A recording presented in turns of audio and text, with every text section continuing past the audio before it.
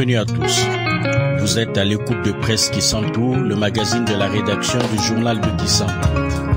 Presse qui est une coproduction de la radio catholique de Kisantou, RCK, et du journal de Kisantou.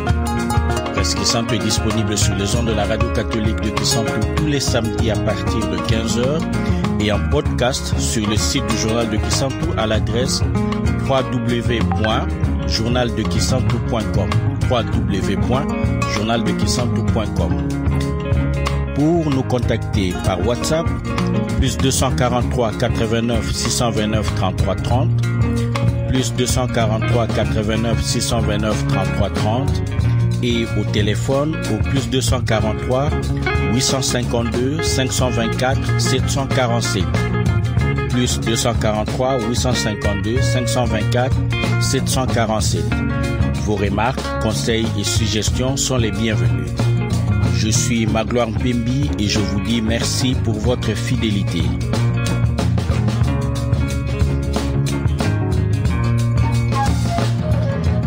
Dans une tribune intitulée Les terres sacrées du Congo central bradées, parue sur le site www.congoindépendant.com le 2 janvier 2020, le politologue Bambi Dilelo écrivait ce qui suit.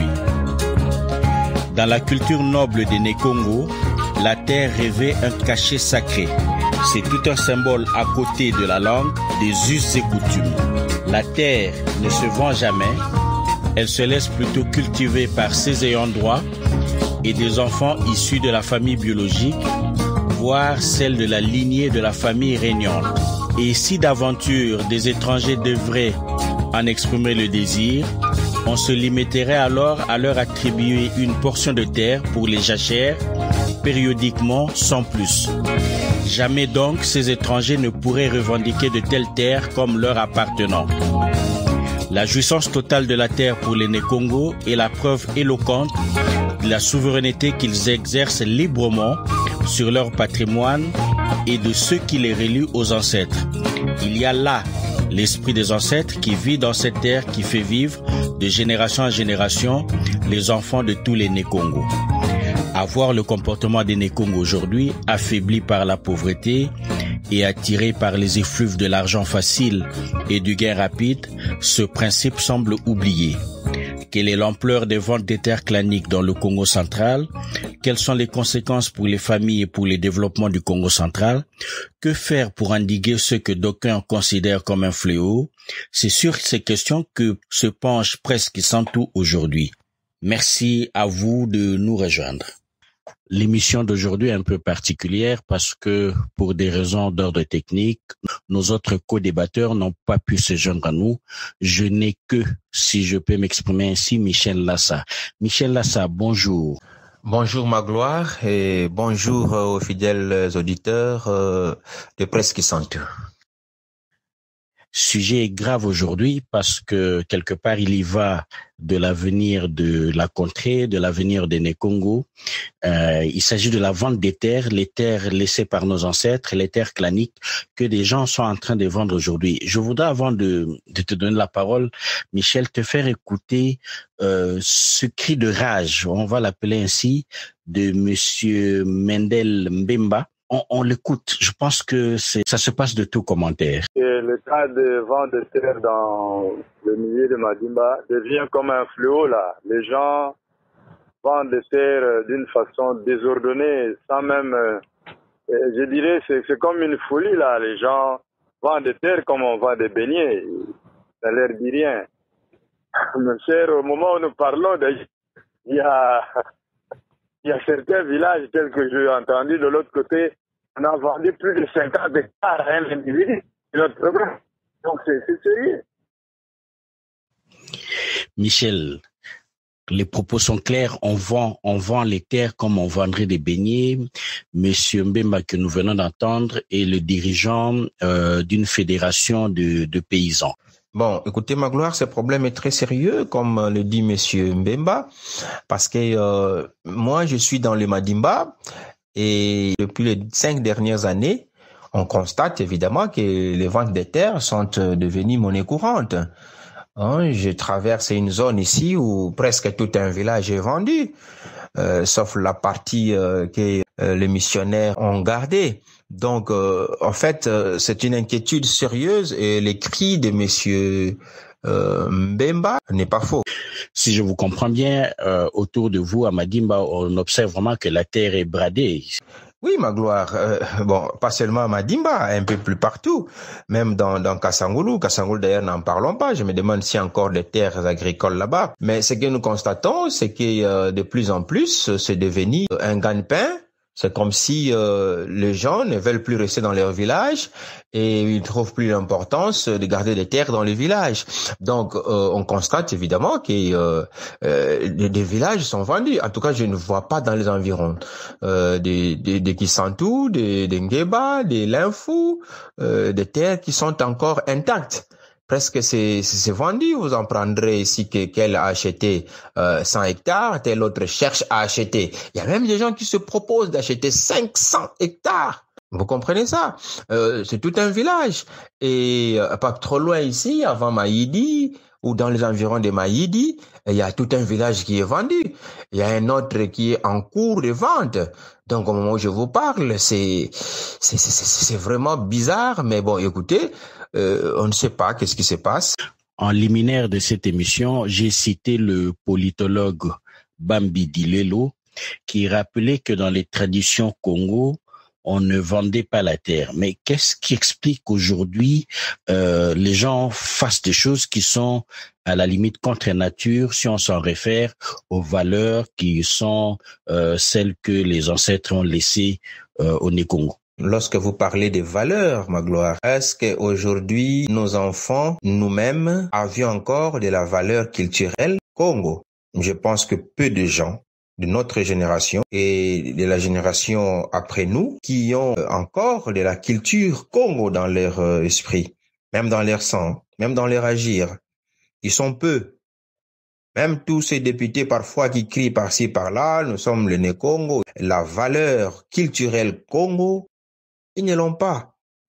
Alors maintenant, il faut descendre plus bas avec euh, le jeune d'aujourd'hui, parce qu'il faut se le dire, aujourd'hui, qui dirige les villages? Ceux qui dirigent les villages aujourd'hui, ce sont euh, des de personnes euh, de, de, de, de 60 ans, 50 ans, qui sont presque, euh, j'allais dire, euh, malmenés par la nouvelle génération de jeunes gens qui ont 30 ans, 29 ans, voire même 25 euh, ans. Donc, euh, il y a aujourd'hui la loi de l'intérêt qui passe au-dessus. Quand le besoin euh, se présente, euh, les gens se décident comme ils veulent sans tenir compte de la tradition.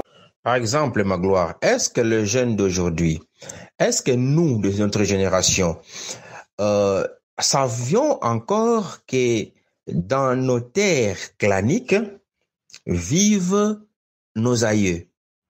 Que l'esprit de nos Bambuta, à travers les Nkita, à travers les Bisimbi, vivent encore avec nous. Allez déjà voir comment est-ce qu'on part enterrer des gens aujourd'hui dans les cimetières. C'est de, c'est devenu une histoire folklorique. C'est, c'est sans respect aux morts. Et aujourd'hui, on oublie que dans nos espaces de vie, au village vivent aussi nos aïeux, nos grands-parents, dont les esprits vivent parmi nous. Est-ce qu'il y a encore des gens qui pensent? Est-ce qu'il y a encore des gens qui croient? Aujourd'hui, il y a cette affaire de la religion, euh, les Binzambinzambi, qui ont, sont venus supprimer euh, tout ce qui est euh, coutume. Eh bien, écoutez, même la langue à travers laquelle on peut véhiculer la culture, elle a changé dans nos milieux, dans nos villages. On parle des langues étrangères, on parle les lingala, et on ne sait pas tenir nos proverbes en lingala, ça n'a pas d'équivalence. Donc, il y a beaucoup de facteurs qui entrent en ligne de compte et qui aboutissent à des déviations comme celle-ci, euh, les gens ne savent plus quelle est la valeur de la terre, ils vont jusqu'à en vendre. Autre chose, il y a euh, ce problème de conflit dans les clans. Là aussi, c'est quelque chose qui disperse les gens dans le village et qui disloque le village. Voyez-vous, euh, les conflits dans les clans naissent souvent de par l'usage de la terre. Vous savez que dans nos coutumes, euh, nous, dans nos clans, il y a toujours trois lignées. Et dans un village, chaque lignée a ses terres de travail. Ils ont dans l'ensemble leur territoire, qui est le village, et une répartition est faite en termes de lignées, qui chaque lignée a son salou, comme on dit. Euh, ils ont leurs terres euh, à cultiver qui sont distinctes des autres lignées. Et il arrive aussi que les terres d'une lignée cessent d'être productives, c'est-à-dire qu'ils sont usées et ils ont tendance de vouloir aller travailler sur les terres d'une autre lignée. Il y a des, des conflits qui se créent dans les clans. Il également le problème de vente de terres est aussi lié toujours dans les clans. Lorsque une lignée est éteinte, il arrive qu'une lignée n'a plus dans la descendance, vous savez que nous, le Congo, nous sommes euh, matriarcat.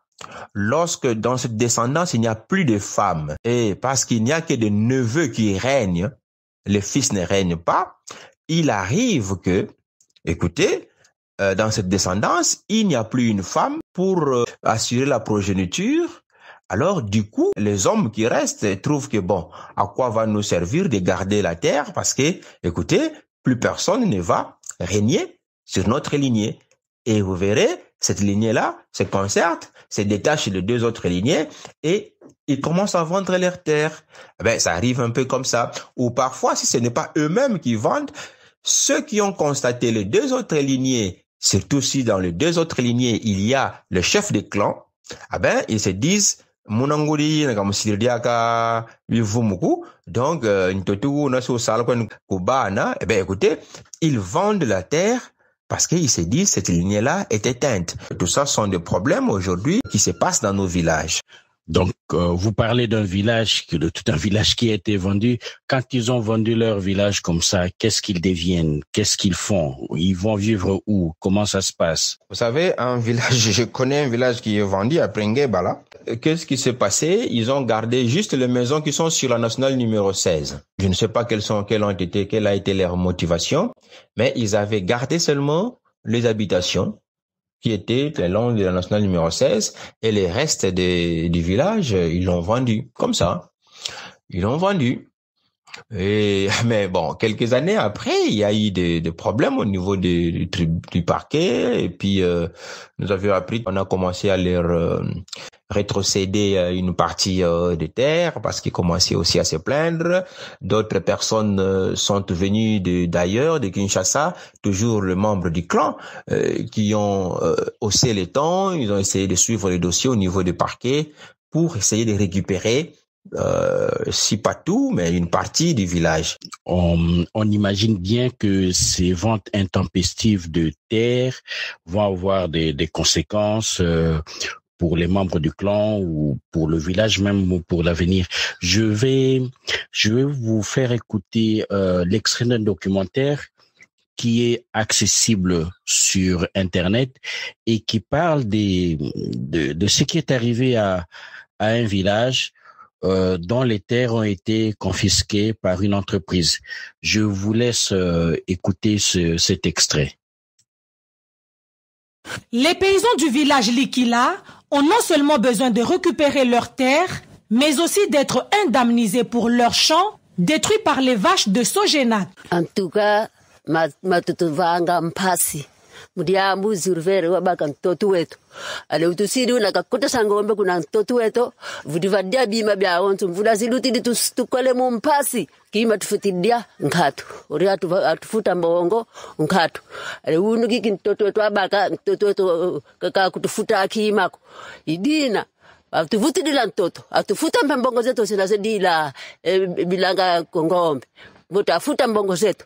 Mtoto wetu mpadiaka avutula atuvaka ni findambo pasivo yetodiaka tukipire tosantila batekolo po bubu tunavava deja nani clôture jivel konima kwani ya quelque 10 metre 10 metre vovo nani lupango longombe vovo aliandikila na tie ko tusalilanga. Donc fin toto batusisila fie fioti.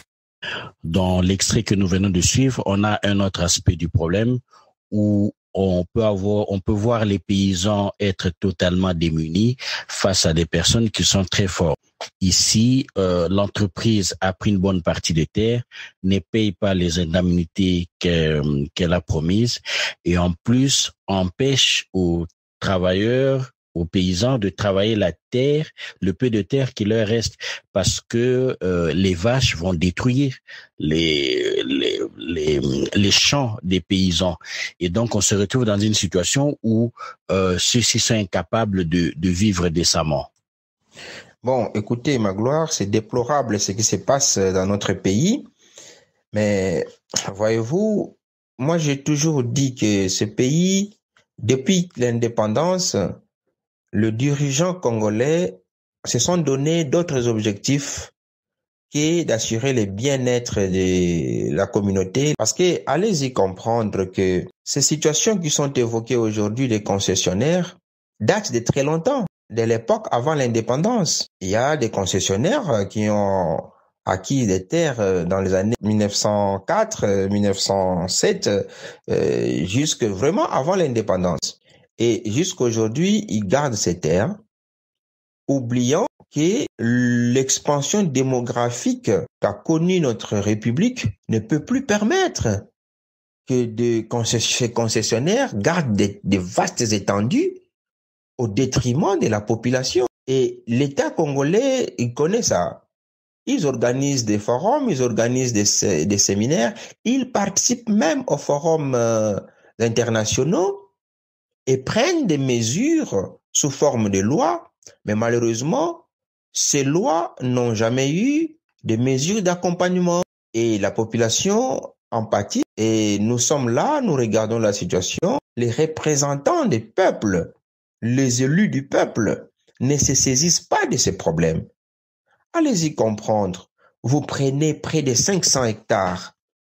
Le village grandit, les gens naissent, et la population est coincée, elle n'a plus où travailler, elle recourt à des terres qui sont dans les environs et on les chasse, on détruit leur culture. Cependant, dans ces concessions, vous verrez, ces vastes étendues ne sont pas complètement exploitées.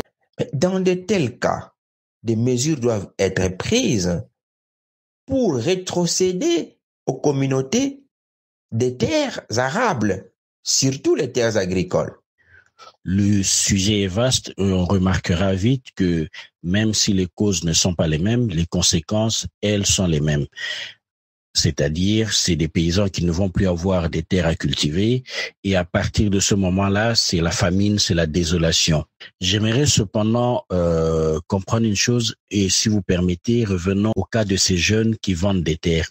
Est-ce qu'il n'y a pas moyen d'imaginer une autre solution pour faire en sorte que à la fois on résolve le problème de d'argent ou des besoins qu'on aurait, mais en même temps garder ces terres dans dans la famille. Et ceci, même s'il y a une lignée ou deux lignées qui s'éteignent. Oui, c'est évident de, et c'est possible de pouvoir créer d'autres euh, utilités à ces terres, même lorsque les lignées euh, s'éteignent. Parce qu'en en fait, euh, une lignée ou deux lignées peuvent euh, s'éteindre, mais il y a toujours une lignée qui demeure. Et bon, en fait, la famille continue et donc le village a encore son, son importance. Mais les terres, nous devons les séparer. Nous devons distinguer les terres de résidence, les terres euh, agricoles, les espaces culturels, les espaces de marché et aussi euh, les espaces alloués à l'éducation et aussi les espaces administratifs. Il faut se dire, est-ce que nos villages sont organisés de cette manière-là? Pratiquement non. Vous verrez qu'il y a peu d'organisation au niveau de nos villages. Il y a peu de structures qui fonctionnent dans le village. Généralement, nos villages n'ont que deux structures, c'est-à-dire l'habitat et les terres arables, donc les terres cultivées. Euh, donc, il n'y a pas une certaine euh, organisation, un développement au niveau du village, que les gens, quand ils sont plus nombreux dans le village, ils trouvent que les terres leur sont dans une abondance inouïe, ils n'en ont pas assez besoin. Mais Aussi, il y a ce manque de politique de développement des milieux ruraux. Parce que, écoutez, on ne doit pas laisser les paysans euh, se démener pour assurer le développement de, de leur village sans un accompagnement du gouvernement. Lorsque on a décidé de décentraliser le pouvoir, c'était pour que l'exécutif se rapproche des bénéficiaires. Mais pour ce faire, il faut créer des mécanismes de développement. Il y a des services de l'État qui existent, mais qui sont coupés des moyens pour agir dans le village. Aujourd'hui, je me pose des questions. Si l'administrateur du territoire reçoit combien dans le frais de rétrocession de la province, si le chef de secteur reçoit combien pour organiser son secteur, ainsi de suite. Donc, vous verrez qu'il y a un abandon total du gouvernement au niveau national. À ce niveau-là, ne rétrocède pas les 40% aux provinces. Et par la suite, les provinces, l'exécutif provincial aussi, euh, le peu qu'il reçoit, bon, parfois, il ne sait pas aussi rétrocéder euh, au niveau des entités administratives euh, décentralisées. Donc, euh, tout ça, ça crée des barrages. L'organisation au niveau du village devait être accompagnée par les pouvoirs publics. En, en fait, cette situation finit par euh, évoquer plusieurs problèmes. Il y a l'organisation administrative du village, mais le fait aussi que euh, dans ces villages, il n'y a rien, il n'y a pas grand-chose, il n'y a aucune infrastructure. Donc, un sentiment de de, de mur par rapport par rapport à l'avenir. Les gens ne voient pas ont du mal à se projeter dans l'avenir dans, dans ces conditions-là, si bien que euh, quand tu vois ces étendues de terre qui ne servent à rien, euh, même quand ils peuvent les exploiter, quand ils plantent, il n'y a pas de route pour évacuer leurs produits agricoles, mais les gens ils finissent par se dire euh, à quoi ça sert de garder ça pendant pendant des années? Autant vendre et se faire de l'argent maintenant et aller en ville. Parce que vous verrez que lorsque le paysan vend les terres, qu'est-ce qu'il cherche? C'est l'argent. Mais dès qu'ils ont cet argent, qu'est-ce qu'il fait avec cet argent? Eh ben, il court en ville, s'acheter des habits, s'acheter, euh, je ne sais pas moi, manger euh, des repas qu'ils n'ont jamais goûté.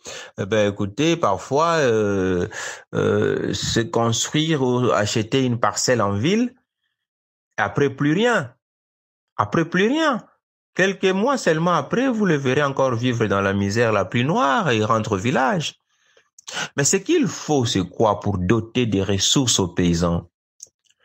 Nous savons bien que la population du Congo central, en particulier la, la population congolaise en général, c'est une population qui vit dans le milieu rural, dans sa grande majorité, en tout cas près de 80% euh, de la population congolaise, 70% vivent dans les milieux ruraux et il y a 10% qui sont dans les milieux euh, urbains, mais qui mènent des activités dans les milieux ruraux. Donc, c'est une masse importante de la population. Ce qu'il faut faire, c'est quoi? L'État devrait accompagner les secteurs agricoles, valoriser les terres agricoles. Il y a des lois pour cela. En principe, les terres agricoles, on ne les vend pas n'importe comment. Il y a des lois qui les protègent. Mais est-ce que ces lois sont-elles appliquées? Non. Bon, maintenant, ces terres agricoles, ils ne doivent pas rester comme ça, sans rien faire. Parfois, au niveau du village, la densité est faible, que tout le monde ne sait pas exploiter totalement les terres qu'on a dans un village. Et ça semble donner l'impression que ces terres chôment. Et pourtant, il faut des politiques de développement agricole qui puissent permettre à ce que l'on accompagne les paysans, à ce que l'on crée des structures publiques dans les milieux ruraux qui puissent absorber la main-d'œuvre qui s'y trouve, qui est abondante d'ailleurs, et l'utilisation des espaces dans ces milieux. Donc, vous vous imaginez des affaires comme euh, les centres agro-pastoral, les projets euh, de développement agricole qui impliquent la transformation. Parce qu'aujourd'hui, il faut qu'on arrive à quitter de l'agriculture de subsistance vers une agriculture de rente qui permet la professionnalisation de l'agriculture. De votre point de vue, pourquoi est-ce que les, les habitants de ces villages ne proposent-ils pas à ceux qui veulent acquérir les terres de les louer plutôt, de les exploiter de, et de payer un loyer euh, mensuel ou annuel? Si, si, ma gloire. Ce n'est pas dans tous les villages euh, où on décide de vendre les terres. Il y a des villages où ils ne vendent pas leurs terres, ils les mettent en location pour deux, cinq ans, euh, moyennant un contrat, et puis après, euh, ils sont toujours propriétaires de terres. Et dans ce genre de village, vous trouverez que le clan est en harmonie. C'est-à-dire, quand il y a des problèmes, ils se mettent ensemble trois lignées et décident. Mais c'est là où les lignées sont en conflit que souvent ce problème de vente des terres apparaissent. Une autre raison où il ne passe pas par euh, la cession des terres provisoires, il passe carrément à la vente, c'est la pression de la personne qui vient vous solliciter. Il y a des gens qui sont déterminés de plus en plus. Ils veulent avoir des terres dans les Congo central. Je ne sais pas, c'est peut-être à cause de son rapprochement avec Kinshasa. Les gens quittent des provinces, ils quittent même l'est du pays pour venir chercher des terres ici. Parfois, ils ont même des nationalités douteuses. Et lorsqu'ils viennent là, leur intention, ce n'est pas de louer. Ils veulent acquérir des terres. Et ceux-là, souvent, achètent des vastes étendues. Généralement, quand vous regardez les, les, les Bas-Congo, ils achètent des terres dans nos villages euh, mais vous verrez, il achète euh, un hectare, euh, 13 hectares, 25 hectares. Mais quand vous voyez des gens qui achètent 100 hectares, 200 hectares, quand vous suivez de très près, ils ont utilisé des intermédiaires, mais les vrais propriétaires, ils ne sont pas des Bas-Congo. Ils viennent d'ailleurs. Je ne sais pas pourquoi tout le monde veut avoir des terres dans le Congo central. Peut-être c'est à cause de son rapprochement euh, avec Kinshasa. Et peut-être aussi euh, à cause de la quiétude qui est dans ce milieu, mais également ça peut être aussi à cause de la fertilité des sols et surtout de sa richesse, parce qu'il y en a qui ont lu les cartes géologiques du Congo et qui connaissent bien la valeur des terres euh, du Congo central force est tout de même de constater que euh, même si ces gens achètent des vastes euh, des vastes portions de terres, même s'ils mettent l'argent qu'il faut pour avoir ces vastes portions de terres, ces, ces ventes n'apportent pas euh, la richesse, le développement dans nos contrées. Donc c'est ça reste quand même quelque chose de négatif contre quoi il faudrait lutter. Qu'est-ce qu'on peut faire pour endiguer ce phénomène? Avant de, te passer la parole, je te laisse écouter Monsieur Nzuzimbembe qui lui donne euh, donne son avis sur euh, sur la manière dont on pourrait euh, s'y prendre pour lutter contre ce fléau. Mais c'est clair, nos députés provinciaux, même nationaux, doivent s'en saisir. D'abord, les députés nationaux, et ce sont eux qui, qui, qui votent les lois. Et ils doivent veiller aussi à, à l'exécution de ces différentes lois. Et les députés provinciaux, quand vous prenez la loi portant principes fondamentaux de l'agriculture, les députés provinciaux sont censés euh, mettre, des, mettre à disposition de la population des édits qui euh, spécifient les terres, et surtout les terres agricoles, en le protégeant. Donc, des édits qui doivent définir les terres agricoles. Et les députés provinciaux doivent aussi euh, aujourd'hui veiller à ce que les terres agricoles produisent, produisent avec euh, toujours la loi portant principes fondamentaux de l'agriculture, où l'on parle du programme agricole de chaque province. Et ce programme doit être avalisé par les députés provinciaux. Et si ces populations n'ont plus de terres, si ces, populations n'ont plus de terres, eh bien, qu'est-ce qu'elles deviennent? Et dans les dit, dans pardon, dans la loi portant principes fondamentaux de l'agriculture, on parle de terres communautaires. Donc les terres communautaires, ce sont ces terres qui sont dans nos villages. Et ce sont ces terres-là qui sont, qui sont en train d'être vendues. Quand vous prenez le statut de chef coutumier, où l'on parle de patrimoine, le chef coutumier, c'est celui qui doit veiller aux différentes, à, nos coutumes. Mais aujourd'hui, donc les députés provinciaux doivent, doivent normalement se saisir de ces deux lois Mais malheureusement, malheureusement, euh, voilà, euh, ben, ils s'occupent d'autre chose, malheureusement. Donc, euh, c'est un travail qu'on doit faire. Monsieur Ndouzimbembe, lui, insiste sur le rôle que devraient jouer les députés dans la protection des terres agricoles. Qu'est-ce que vous en pensez? Bon, Magloire, euh, je venais de dire tantôt que notre pays a beaucoup de lois, mais c'est souvent euh, les mesures d'accompagnement qui manquent. Ou parfois, euh, les responsables, nos politiciens ne saisissent pas ces lois pour s'occuper de résoudre les problèmes de société, celui de la recherche de bien-être euh, des communautés par le biais de ces lois. En fait, Monsieur Ndouzi Mbembe a raison sur, ces déclarations. Il a évoqué euh, une loi, la loi portant principes fondamentaux relatifs à l'agriculture. Mais cette loi, elle est abondante. Et cette loi propose des dispositions qui peuvent permettre à ce que, au niveau du gouvernement, que ce soit même au niveau des exécutifs provinciaux, à travers les édits des assemblées nationaux qui sont euh, votés dans les assemblées provinciales euh, par nos élus, c'est-à-dire les députés provinciaux, il y a de la matière dans ces lois. On donne suffisamment du pouvoir à l'assemblée provinciale, à l'exécutif provincial pour gérer les terres agricoles dans les provinces. Mais qu'est-ce qu'on attend aujourd'hui pour appliquer ces choses? Moi, je vous dis, M. Ndouzimbembe dit qu'il ne manque que des édits, que nos députés réfléchissent sur ces fléaux et proposent des lois à l'Assemblée provinciale et ils donnent de la matière au gouverneur de province pour agir. Mais malheureusement, euh, ici, ça fait une année hein, dans le Congo central, l'Assemblée provinciale l'exécutif provincial sont en guerre. Ah ben, ils s'en foutent de nous, la population, ils s'en foutent des paysans. C'est ça les choses qu'ils devaient faire, mais ils ne le font pas. Et nous avons vu d'autres qui ont précédé, ils ont laissé cette affaire des ventes des terres. Ils ne se sont pas saisis tout bonnement des lois qui leur disposent du pouvoir d'agir sur les terres agricoles au niveau des provinces. Donc, euh, bon, c'est dommage.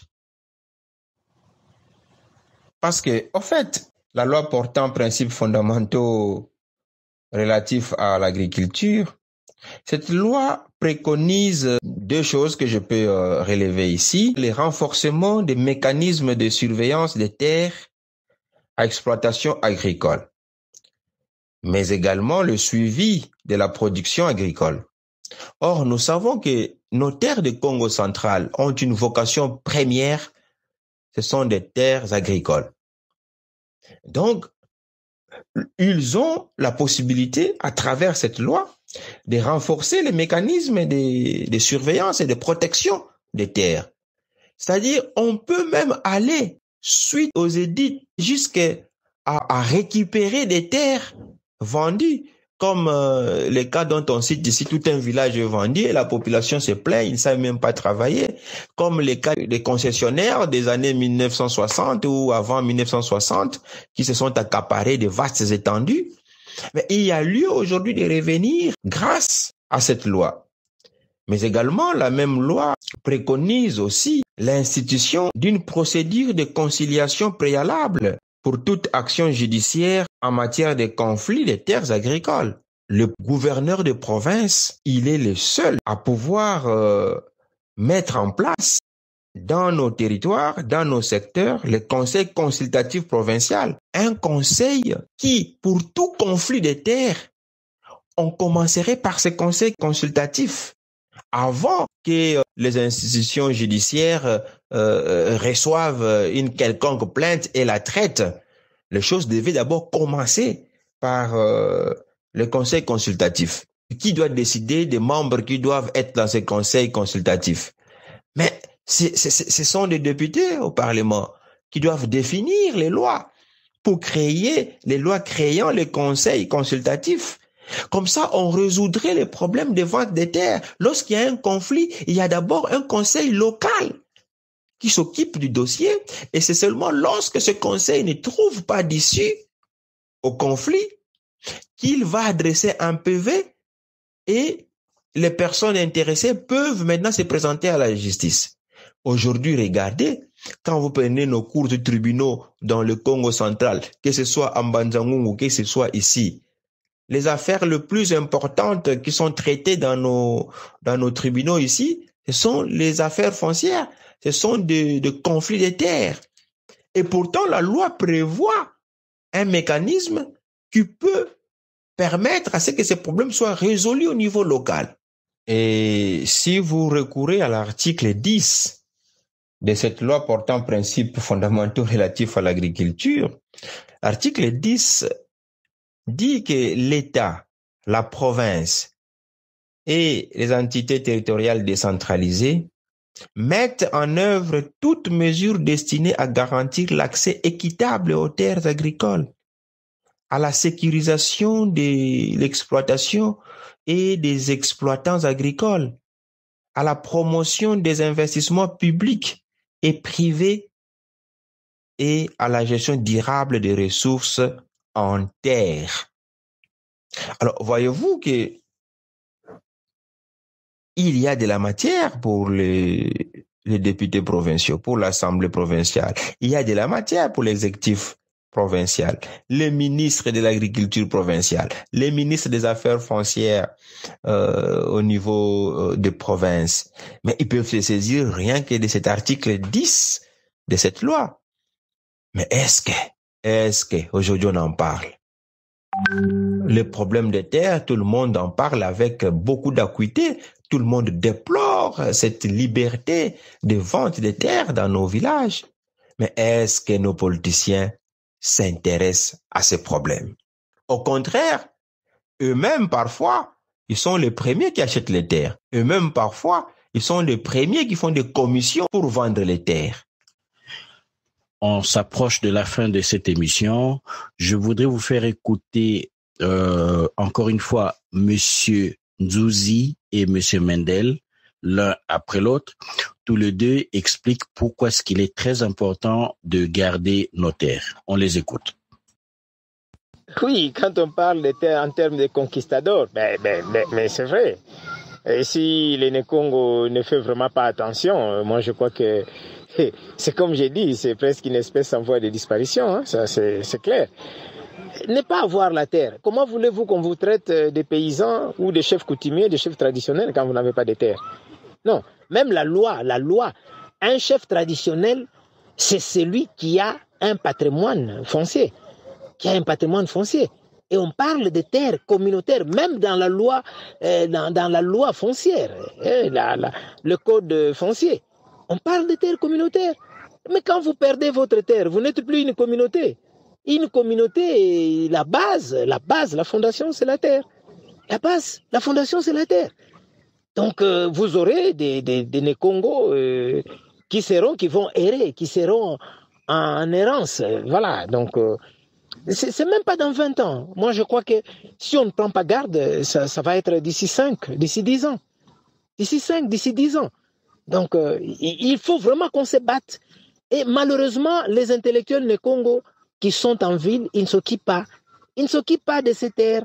Ils disent non, Namboka, il y a des sorciers, Namboka, il y a de mauvaises, je ne sais pas, la mauvaise mentalité. Ils restent à Kinshasa, ils achètent leurs parcelles, ils achètent leurs appartements. Sinon, ils vont au plateau de Balteke pour acheter les terres. Et, et, voilà, on vend les terres de chez eux dans leur village. En fait, ceux qui restent au village vendent les terres. Et qui sont en ville, au lieu de venir réclamer ces terres-là, et ils vont acheter des terres au plateau de Bateke, chez les Bateke et les Baoumbo. Donc, euh, c'est malheureux, hein, c'est malheureux, ça me fait beaucoup de peine. Ça me fait beaucoup, beaucoup de peine et parfois ça fait des larmes.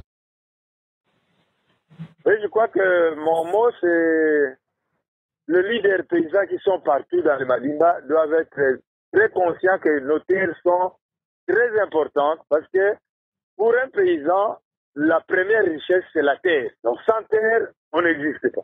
Sans terre, on ne fait rien. sans terre, on ne se développe pas. Vraiment, nous devons chercher à savoir protéger nos terres au lieu de les vendre et même sensibiliser ceux qui sont insensibles à, cette matière-là.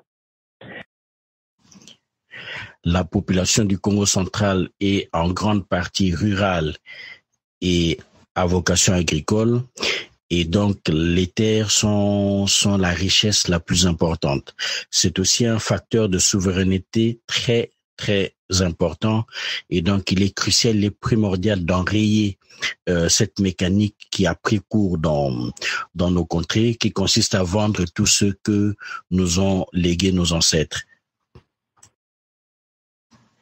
Michel Lassa, je vais, je vais vous demander un exercice euh, un peu particulier, mais on s'est mis d'accord à la rédaction pour avoir à le faire régulièrement. Est-ce que en deux, trois minutes, euh, vous pourriez résumer en Kikongo ce que nous nous sommes dit ici et pourquoi est-ce qu'il faudrait que nous gardions nos terres dans nos familles? Volontiers, ma gloire. Euh, batata ba mama ba presque santu nlandi mi rck benu bakulu muna masanzela muna masalome nu bifulu byakulu vonde di nzeibu lulendi fyoti mundienga lomputu mo mambu matadi di nteko luzimi ntotu mietu muna magata. Benu lutamona kuakulu mo madimba tukala kukasa ngulu tuenda kufula di katarakte. Bakongu tutatoma tateka ntotu buna biyombi bitatu asaka nthekolo ntotu katutapakisa kunki? Kaabutu yindwedi moti kokwere kokwentu mwenyi ndebi bitatwatisaki bene muku munthekolo zintotu matalili minzonza to kitantu muna makanda. Yimamo matalile lyaka lukosi lumbongu. Bambuta betu butu zaidi matukokere kokweni bambuta bawubena bantu banduwenga babafoti diatisa magata. Kanti bambuta batasuka muna magata bantu wenya evo bajene babatakusi yinga katuna kibeni ye mbundu bwaku katuna kibeni ye lusansu lumbotiku lulutasonga nkiyi mfunu ntotu muna magata metu. Bumuntu bubetu bakongo butammoniki namuna bima bitatu kikintheti ndinga betu ikikongo yayitasonga bumuntu bwetu bukikongo kikizoli intoti utuvwile kibene otuwele kuna simu diba ndibu situwa baabo bata. Baabo bazayisanga ndibu yentotwani. Abu munthandu yenki bulitaku esosi mbongo mbongo kakatuteka mintoti tubaka mbongo. kuzitomala ndzi ri va bantu boho va ta teka mintoti va ta baka za mbongo ka va ta sosaritela mpikimakimakeri kaku kikifotisantsha gata diakulu hi vo familia diakulu hi vo kanda diakulu. Ntoti wu na mfunu liambu dibetu tu ta zinga ye basi ba zinga kuntuala muntsi yetu yikongu mukizunga ketu kikongo central. Mukizunga ketu liaka kimadimba. Bututateka mintotu unu tuzaya nde bankhaka betu. Myoyo myawu mizingilanga kaka gana kizyunga kimagata metu. Bututateka mintotu tuzaya nde bankhaka betu. Ho bateka ntotu muna tandu dine dibawu betu unu nga banzenza tuna nga futile tukefutila kweni. Kabawu balunda ntotu wuna mudiambu di betu mudyambu di bana ba betu. Betu diakati foti lunda wenda mudi bana betu batekolo betu yentekololo myetu kikina mfunu kakuteka ntotuku. Ntotu tulendi gana bo kudefisa. Bontusanga kitemu. Muntu wisili bakili ntotu ngonda mvula mosi mvula zodi mvula tanu kunima mvula mitanu mina yambweru bisalu ntotu kuvutukili usiri kaka ubetu bakongu munchikongo kanchi ntotu myotu tateka mimi nkaka nguti bantu tatekela katubazeyuku ye banzenza tutatekila ntotu gata dimvimba sumona batekeli akutu takuenda kwebetu bakongo tulombelela kuba mfumu baluyalu bawo babatadiyatisa ntsi badepite bawo bena nthumwa zibetu. Tata guverner kuna matati. Ye bantu ba guvernema central baministre bakulo batoma landa dyambu dioditedi nkanda mitu tabokela honde loi portant principes fondamentaux relatifs à l'agriculture. Kari tuvuyidi nkanda miluyalu mimi foti dia ti sa ntotu. Mimi na mibi salu bi ma ya ye mi na ntotu ka ba teka mio bonti bonti ku. Nsiku mi leta mi ta ga na bue bulo nterekilendi tekile mi na ntotu. Ye bue yi lo yalu lo province badepute bafoti sari la kike samuku sa nde ntotu mi na mi bi salu bi ma ya ka mi teku ka ku mu na ma gata dia tu ta ba lomba bau. Babambuka mbundu.